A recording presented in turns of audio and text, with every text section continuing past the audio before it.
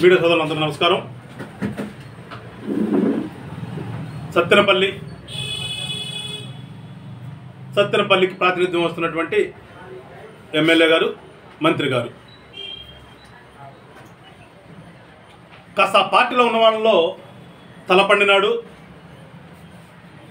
ఇది కొంచెం సీనియర్ అనే ఒక భావన జనాల్లో ఉంటుంది. అందులో ఈ మధ్యన రంగు కూడా వేసుకోవట్లా వదిలేశాడు.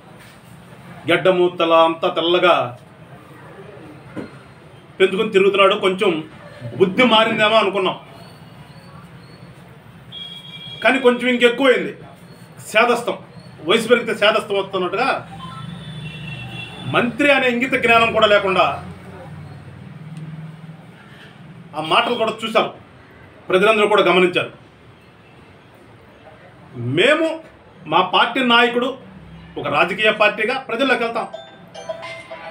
మీకంటే ఆ ఆలోచన లేదు ఆ విధానం కూడా మీది కాదు. మనకు అధికారం వచ్చింది. ఏ రకంగా సంపాదించుకుందాము ఎక్కడ అన్యాయాలు చేద్దాము ఎవరిని ఇబ్బంది పెట్టి వాళ్ళ ఆస్తులు లాక్కుందామని ఆలోచన ఉన్నటువంటి పార్టీ మీది. నువ్వు రాష్ట్రానికి మంత్రివి.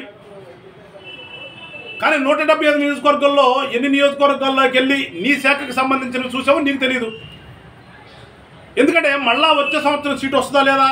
సీట్ వస్తే మళ్ళీ ఏ రకంగా గెలవాలి అని నీ నియోజకవర్గంలో కూర్చోవటం తప్పితే ఎవరో చెప్పారు పక్కన అక్కడ ఫామ్ హౌస్ కూడా కట్టించుకున్నా అంట.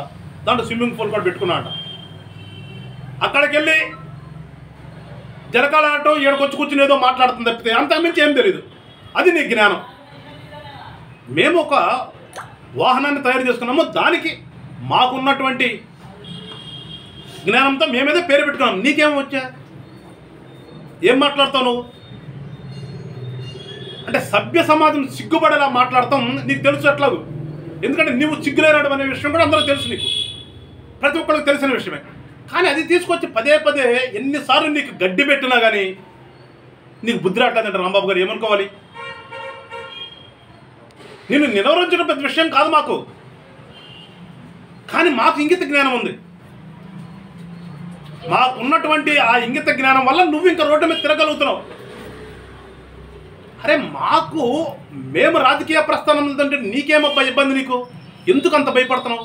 ఓ పక్కన భయం లేదంటారు. ఓ పక్కన ఆయన సినిమా యాక్టర్ రాజకీయ నాయకుడు కాదంటారు. అన్నీ మీరే చెప్తారు. చెప్పేది మీరే చేసేది మీరే భయపడేది మీరే. మళ్ళా వచ్చి క్రిటిసైజ్ చేసేది కూడా మీరే.